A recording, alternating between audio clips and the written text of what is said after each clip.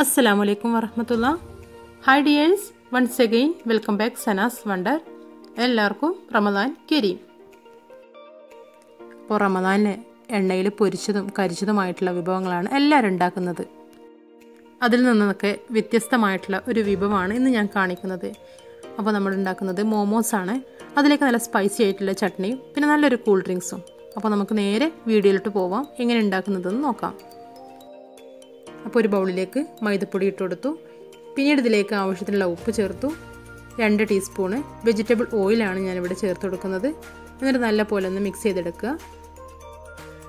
ഇത് ആട്ടപ്പൊടിയിലും ചെയ്തെടുക്കാവുന്നതാണ്.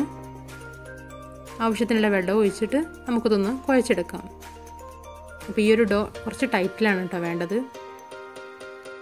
അപ്പോൾ നമ്മുടെ ഡോ ഇവിടെ റെഡി ആയിട്ടുണ്ട്. ഇനി ഇത് പത്ത് മിനിറ്റ് നമുക്ക് റെസ്റ്റ് ചെയ്യാൻ വേണ്ടി വെക്കാം. ഈ സമയം കൊണ്ട് നമുക്ക് ഇതിലേക്ക് വേണ്ടിയിട്ടുള്ള മസാല എങ്ങനെ തയ്യാറാക്കുന്നതെന്ന് നോക്കാം. അപ്പോൾ ഇതിനായിട്ട് ഞാൻ ഇവിടെ രണ്ട് സവാളയാണ് എടുത്തിട്ടുള്ളത്. പിന്നീട് ഇതിലേക്ക് ക്യാരറ്റ് വെളുത്തുള്ളി ഇഞ്ചി ഒരു ചെറിയ പൊട്ടാറ്റോ. പൊട്ടാറ്റോന്റെ അളവ് കൂടരുത് ചെറുത് മതി. അപ്പോൾ ആദ്യം സവാള ഇവിടെ ചോപ്പറിൽ ചോപ്പ് ചെയ്തിട്ടുണ്ട്. ഇനി നമുക്ക് ഇതെല്ലാം കൂടി ഒന്ന് ചോപ്പ് ചെയ്തെടുക്കണം. ചോപ്പറില്ലാത്തവർ കത്തി കൊണ്ട് ചെറുതാക്കി കട്ട് ചെയ്തെടുക്കണം. ഈ ഒരു മോമോസ് മിക്സഡ് ആണ് കേട്ടോ ഇത് വെജിറ്റബിളും അതുപോലെ ബീഫൊക്കെ വെച്ചിട്ടാണ് ഇപ്പോൾ ഞാനിത് തയ്യാറാക്കുന്നത്. ഇനി ഒരു പാന് ചൂടാക്കി ഇതിലേക്ക് ഓയിലാണ് ഒഴിച്ചു കൊടുക്കുന്നത്. അതിലേക്കാണ് നമ്മൾ സവാള ചേർത്തെടുക്കുന്നത് കട്ട് ചെയ്ത് വെച്ചിട്ടുള്ള സവാളയാണ് ചേർത്ത് കൊടുക്കേണ്ടത്. അപ്പോൾ എത്രത്തോളം ചെറുതാക്കി കട്ട് ചെയ്യുന്നോ അത്രത്തോളം എളുപ്പത്തിൽ വെന്ത് കിട്ടും ചെയ്യും. പിന്നെ ഫില്ലിങ് വെക്കുമ്പോൾ നമുക്ക് ബുദ്ധിമുട്ടായി തോന്നില്ല. സവാള എളുപ്പം വഴന്ന് കിട്ടാൻ വേണ്ടി അല്പം ഉപ്പ് ചേർത്ത് കൊടുത്തു. പിന്നീട് നമ്മൾ ചോപ്പറിൽ ചോപ്പ് ചെയ്തിട്ടുള്ള വെജിറ്റബിൾസൊക്കെ ഇതിലേക്ക് ചേർത്ത് കൊടുക്കുകയാണ്. പിന്നീട് ഇതിലേക്ക് ആവശ്യത്തിന് മല്ലിയില ചേർത്ത് കൊടുത്തു. എന്നിട്ട് നല്ല പോലെ ഒന്ന് മിക്സ് ചെയ്തെടുത്തു. ഇനി ഇതിലേക്ക് നമുക്ക് മസാലപ്പൊടികളാണ് ചേർത്ത് കൊടുക്കേണ്ടത്. അപ്പോൾ ഇവിടെ ഞാൻ ഇതിലേക്ക് വറ്റൽമുളക് പൊടിച്ചതാണ് ചേർത്ത് കൊടുക്കുന്നത്. എരിവ് അധികം കൂട്ടരുത്. പിന്നീട് ഇതിലേക്ക് വേണ്ടത് അര ടീസ്പൂണോളം ചെറിയ ജീരകപ്പൊടി അതുപോലെ കാൽ ടീസ്പൂണ് വലിയ ജീരകപ്പൊടി. കാൽ ടീസ്പൂണ് ചാട്ട് മസാലയാണ് ഇവിടെ ചേർത്ത് കൊടുക്കുന്നത്.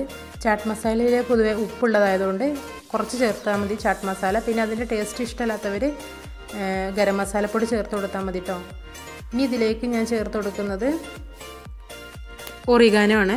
അപ്പോൾ ഒറിഗാനോ കിട്ടാത്തവർ ചേർക്കൊന്നും വേണ്ട കേട്ടോ ഇനി ഇതിലേക്ക് വേവിച്ചിട്ടുള്ള ബീഫാണ്. അപ്പോൾ വേവിച്ച് ചോപ്പറിലൊന്ന് ചോപ്പ് ചെയ്തെടുത്തിട്ടുണ്ട്. അപ്പോൾ ഇത് ഇതിലേക്ക് ചേർത്ത് കൊടുത്ത് നല്ല പോലെ മിക്സ് ചെയ്തു. ഇനി ബീഫിന് പകരം ചിക്കൻ ആണെങ്കിൽ ചിക്കൻ ചേർത്തിട്ടും നിങ്ങൾക്ക് തയ്യാറാക്കാം. അപ്പോൾ ഇനി മസാല നമുക്ക് തണുക്കാൻ വേണ്ടിയിട്ട് മാറ്റി വെക്കണം. അപ്പോഴേക്കും നമുക്ക് ഇനി ഇത് പരത്തിയെടുക്കാം. പരത്തുമ്പോൾ ശ്രദ്ധിക്കണം എല്ലാ പരത്തുന്ന പത്തിരിയും ഒരേ വലുപ്പത്തിലായിരിക്കണം കേട്ടോ പിന്നെ മോമോസ് പല ഷേപ്പിലും കാണാം. ഞാനിപ്പോൾ ഇവിടെ ഈസി ആയിട്ടുള്ള മെത്തേഡാണ് കാണിക്കുന്നത്. അപ്പോൾ നമുക്ക് കൗണ്ടർ ടോപ്പിൽ കുറച്ച് പൊടി പൊടി അധികം ഇടരുത്. എന്നിട്ട് ഇത് അതുപോലെ പരത്തിയെടുക്കുക അപ്പോൾ പൊടി അധികമായി കഴിഞ്ഞാൽ നമ്മൾ ഉള്ളിലേക്ക് ഫോൾഡ് ചെയ്ത് കൊടുക്കേണ്ടത് അപ്പോൾ ഒട്ടി കിട്ടാൻ കുറച്ചൊരു ബുദ്ധിമുട്ടാണ്. പിന്നെ അതുപോലെ എളുപ്പത്തിന് വേണ്ടിയിട്ട് പത്തിരി പ്രസ്സിൽ ചെയ്യും. അങ്ങനെയും ചെയ്യരുത്. അപ്പോൾ കാരണം മോമോസിന്റെ ഷേപ്പ് നമുക്ക് കിട്ടില്ല. ഇനി എല്ലാം ഞാനിവിടെ പരത്തി വെച്ചിട്ടുണ്ട്. ഇനി നമുക്കിതിലേക്ക് ഫില്ലിങ് വെച്ച് കൊടുക്കാം. അധികം ഫില്ലിങ് വെച്ച് നിറയ്ക്കരുത്. ഇതൊരു പ്രത്യേക രീതിയിലാണ് ഇതൊന്ന് ചെയ്യുന്നത്. കണ്ടാൽ എളുപ്പം മനസ്സിലാവും. ഇതാ ഉള്ളോട്ട് അങ്ങനെ ഫോൾഡ് ചെയ്ത് കൊടുക്കുക കേട്ടോ.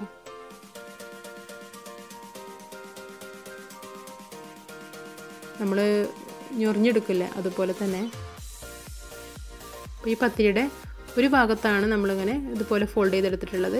മറ്റു ഭാഗത്തിനോട് കൂടിയിട്ടൊന്ന് പ്രസ് ചെയ്ത് കൊടുക്കുകയാണ്. അങ്ങനെ നമ്മുടെ ഈ മോമോ റെഡി ആയിട്ടുണ്ട്.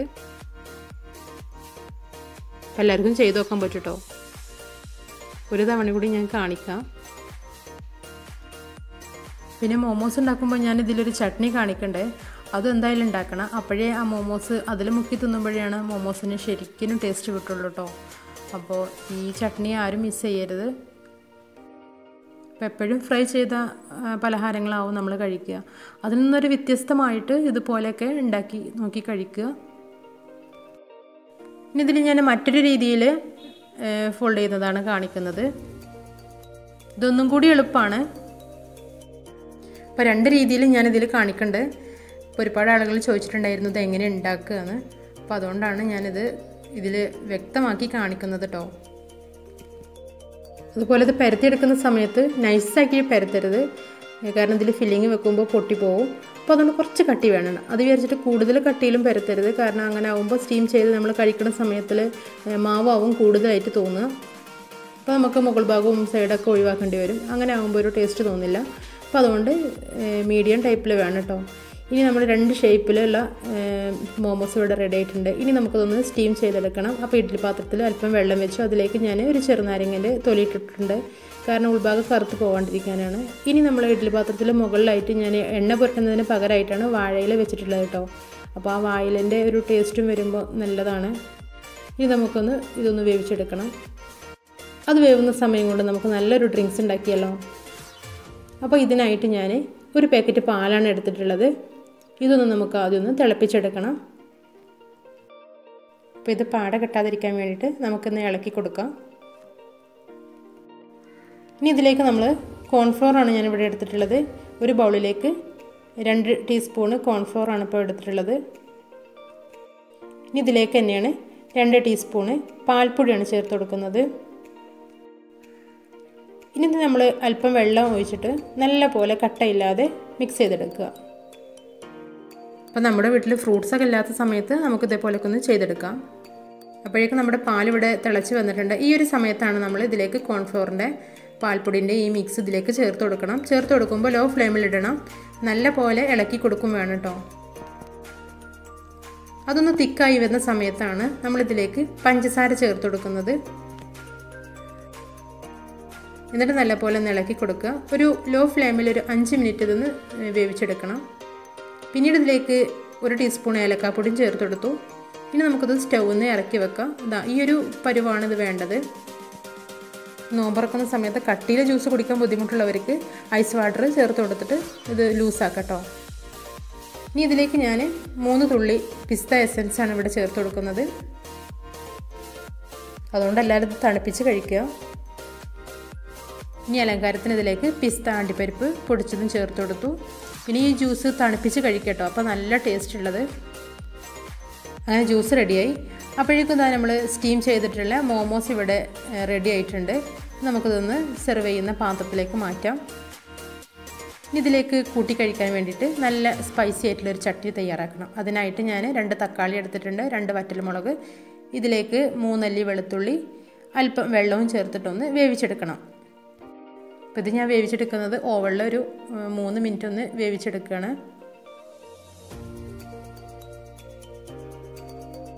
എളുപ്പത്തിന് വേണ്ടിയിട്ടാണ് ഞാൻ ഓവളിൽ വേവിച്ചത്. നിങ്ങൾ സ്റ്റൗവിൽ വേവിച്ചെടുത്താലും മതി.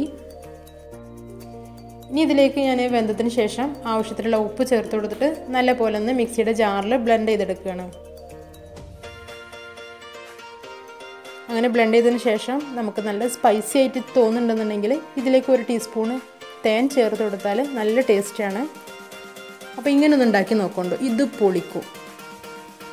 അപ്പോൾ ഇന്ന് കാണിച്ച എന്റെ ഇഫ്താറിന്റെ വിഭവങ്ങൾ നിങ്ങൾക്ക് ഇഷ്ടമായി എന്ന് വിചാരിക്കുന്നു. അപ്പോൾ ലൈക്ക് ചെയ്യുക ഷെയർ ചെയ്യുക കമന്റ് ചെയ്യുക.